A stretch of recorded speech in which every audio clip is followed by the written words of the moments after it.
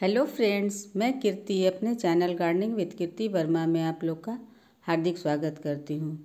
Friends 2022 का ये मेरा पहला वीडियो है फ्रेंड्स तो सभी मेरे फ्रेंड्स को नौ वर्ष की हार्दिक शुभकामनाएँ। तो फ्रेंड्स, आज मैं कुछ हार्वेस्टिंग करने जा रही हूँ अपने किचन गार्डन में। तो सबसे पहले हम देखते हैं कि मेरे किचन गार्डन में कौन कौन सी चीज़ तोड़ने लायक हुई है। तो ये देखिए फ्रेंड्स ये पालक की साग बिल्कुल तैयार है हार्वेस्टिंग के लिए। दो तीन बार मैंने इसमें से पालक की साग निकाल ली है और हर हार्वेस्टिंग के बाद मैं इसमें लिक्विड फर्टिलाइज़र देती हूँ। या तो सरसों की खली का या गोबर की खाद का लिक्विड फर्टिलाइज़र, क्योंकि इसमें हम गुड़ाई नहीं कर सकते हैं फ्रेंड्स, ये लिफी वेजिटेबल है तो हमें लिक्विड फर्टिलाइज़र ही देना रहता है। तो फ्रेंड्स, ये बिल्कुल तैयार है अब। तो चलिए आगे बढ़ते हैं। देखिए, बगल वाले ग्रो बैग में एक बीन्स का पौधा लगा हुआ है फ्रेंड्स। इसी में मैंने मेथी भी लगाई थी, जिसे मैंने हार्वेस्ट कर लिया है।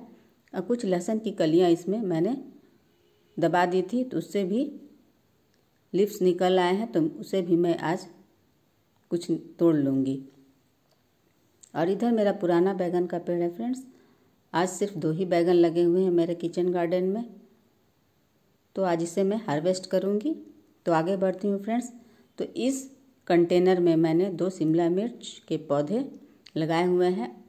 देखिए कितना अच्छा ग्रोथ चल रहा है फ्रेंड्स और साथ में कुछ बीन्स के भी पौधे हैं। तो देखिए शिमला मिर्च का साइज़ बहुत अच्छा है। देख रहे हैं आप लोग? तो इसे मैं तोड़ लूँगी। और बीन्स में भी ग्रोथ अच्छी चल रही है। और बीन्स कुछ लगे हुए हैं फ्रेंड्स लेकिन पर्याप्त नहीं है, इसलिए मैं आज नहीं तोड़ूँगी।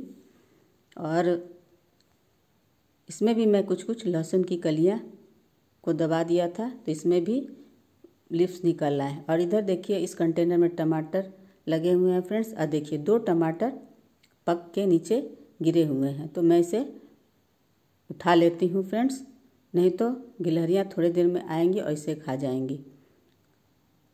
तो चलिए, उठा ही लेती हूँ इसे। और टमाटर देखती हूँ। देखिए फ्रेंड्स इधर भी टमाटर लगे हुए हैं। थोड़े से कम पके हुए हैं, लेकिन मैं तोड़ लूँगी, क्योंकि जैसे ही पकेगा तो गिलहरियाँ धावा बोल देती हैं इस पर और खा जाती हैं। और देखिए, सारे लिप्स इसके थोड़े मुड़ से गए थे तो मैंने कैंची से काट दिया था फ्रेंड्स तो अब नीचे से ग्रोथ हो रहा है इसमें। और इधर एक टमाटर है, लेकिन बहुत कच्चा है फ्रेंड्स तो इसे मैं छोड़ दूँगी, क्योंकि कच्चा टमाटर गिलहरियों को बिल्कुल पसंद नहीं आता है। साइज़ भी काफ़ी बड़ा है इसका फ्रेंड्स तो पकने दूँगी। और इधर देखिए, टमाटर मेरे लगे हुए हैं। एक छोटे से ग्रो बैग में मैंने लगाया है इसे। इसमें भी टमाटर लगे हुए हैं। और देखिए, ये मेरे सेम फली का बेल है फ्रेंड्स, और काफ़ी अच्छी तरह से इसमें फ्रूटिंग हो रही है। पूरा जो बेल है, वो सेम से भरा हुआ है। तो इसे मैं आज हार्वेस्ट कर लूँगी फ्रेंड्स। फ्रेंड्स, हर हार्वेस्टिंग के बाद मैं इसमें लिक्विड फर्टिलाइज़र देती हूँ। तो कभी किचन वेस्ट का लिक्विड फर्टिलाइज़र बना के दे दिया तो कभी सरसों की खली का तो कभी गोबर की खाद का। तो मैं किचन के वेस्ट का दो तरह से इसमें खाद इस्तेमाल करती हूँ। एक तो लिक्विड बनाती हूँ और एक दूसरे तरह से भी देती हूँ फ्रेंड्स तो उसे भी मैं आप लोगों के साथ शेयर करूँगी किसी और वीडियो में। तो उससे काफ़ी अच्छी तरह से फ्रूटिंग होती है। तो जो हमारे जो छिलके होते हैं फ्रेंड्स और फलों के, सब्जियों के तो उसमें हर तरह के न्यूट्रिएंट्स पाए जाते हैं जो हमारे पौधों को मिल जाते हैं। तो काफ़ी अच्छा होता है फ्रेंड्स इसका इस्तेमाल हर गार्डनर को करना ही चाहिए। और फ्रेंड्स ये सब ऑर्गेनिक वेजिटेबल्स हैं। हमारे लिए कोई ये नुकसान नहीं पहुंचाते हैं। तो देखिए फ्रेंड्स मैंने बातों बातों में बहुत सारे सेम की फलियाँ तोड़ ली है और भी तोड़ रही हूँ फ्रेंड्स पूरा मेरा जो बेल है, वो सेम फली से भरा हुआ है। तो हम जो पेस्टिसाइड का इस्तेमाल करते हैं, वो भी ऑर्गेनिक होता है फ्रेंड्स क्योंकि सब्ज़ी तो खाने वाला चीज़ है तो उसमें हम लोग केमिकल का इस्तेमाल नहीं करते हैं। या तो नीम ऑयल का इस्तेमाल कीजिए, नहीं तो लहसुन और मिर्ची का पीस के उसका ग्राइंड करके उसे, उसका लिक्विड निकाल लीजिए और उस लिक्विड में दोगुना पानी मिला के उस, उसको स्प्रे बोतल में भर के इसको स्प्रे कीजिए तो किसी तरह के कीड़े की समस्या आएगी ही नहीं। तो इंतज़ार नहीं करना है फ्रेंड्स कि कीड़े आए तब हम पेस्टिसाइड या इंसेक्टिसाइड्स का हम इस्तेमाल करेंगे स्प्रे करेंगे। नहीं, पहले से ही हम लोग को शुरू कर देना क्योंकि सेम के पेड़ में बहुत ज़्यादा कीड़े लगते हैं। ब्लैक कलर के छोटे छोटे कीड़े बहुत लगते हैं। तो जैसे ही आपका फ्लावरिंग पर आ जाए प्लांट तो उसमें स्प्रे करना शुरू कर दीजिए। तो आपके पौधे जो हैं, कीड़ों से बचे रहेंगे। तो देखिए फ्रेंड्स इतनी मैंने सेम फलियाँ तोड़ ली है। और देखिए दो टमाटर जो पहले से पक के गिरा हुआ था, उसे भी मैं इस बास्केट में रख लेती हूँ और भी टमाटर है उसे भी तोड़ लेती हूँ। तो गोबर की खाद जो होता है, वो हमारे टमाटर के प्लांट के लिए, किसी भी वेजिटेबल प्लांट के लिए बहुत ही अच्छा होता है फ्रेंड्स। तो हम उसे या तो लिक्विड फर्टिलाइज़र बना के दे सकते हैं या गुड़ाई करके उसके जड़ के चारों तरफ़ भी डाल सकते हैं। तो काफ़ी अच्छी तरह फ्रूटिंग होती है। तो देखिए, थोड़ा टमाटर मैंने तोड़ लिया है और आगे देखती हूँ। हर आदमी को वेजिटेबल गार्डनिंग ज़रूर करना चाहिए। फ्रेंड्स चाहे वो छोटे से कंटेनर में करें या ग्रो बैग में करें, किसी में करें, लेकिन करना चाहिए, कुछ सब्ज़ियाँ उगा के रखनी चाहिए फ्रेंड्स तो देखिए, इधर कुछ टमाटर है, इसे भी मैं तोड़ लेती हूँ।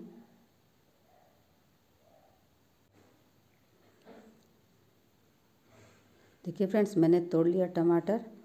बहुत बड़े बड़े तो नहीं है, लेकिन चलिए, कुछ तो टमाटर मुझे मिला। तो चलिए फ्रेंड्स, शिमला मिर्च तोड़ते हैं।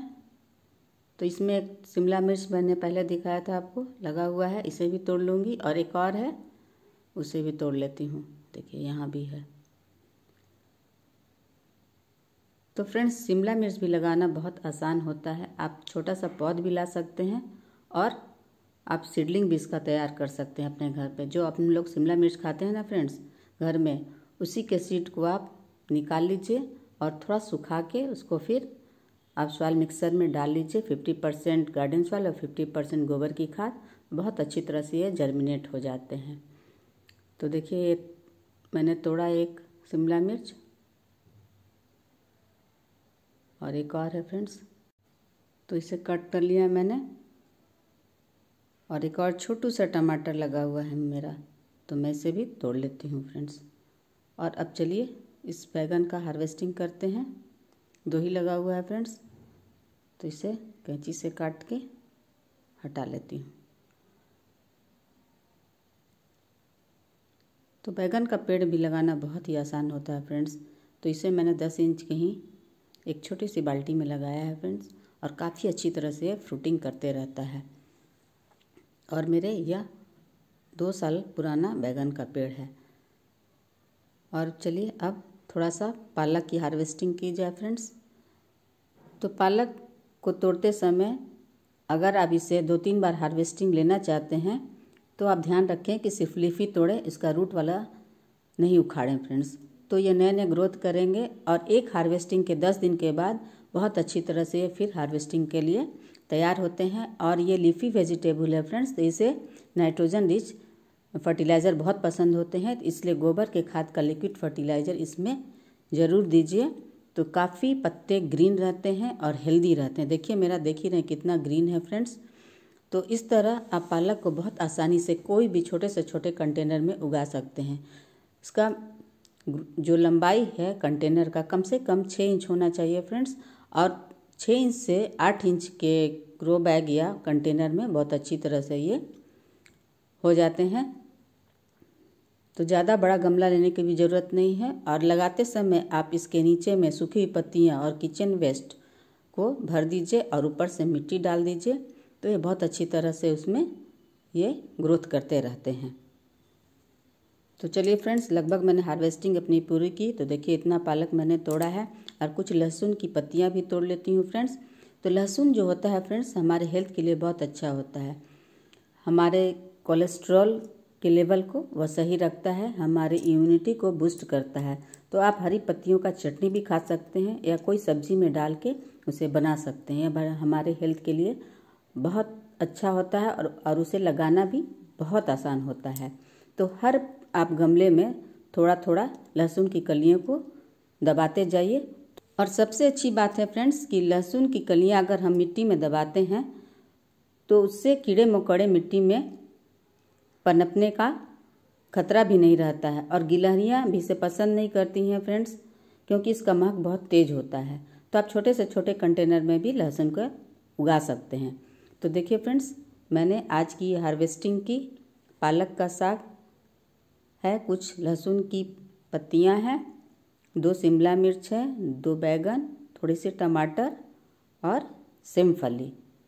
तो चलिए फ्रेंड्स, बस आज के लिए इतना ही। अगर मेरा वीडियो पसंद आया होगा हार्वेस्टिंग का तो लाइक, शेयर और सब्सक्राइब कीजिएगा फ्रेंड्स। अपना अपने परिवार का ध्यान रखिए। Bye friends, take care, happy gardening.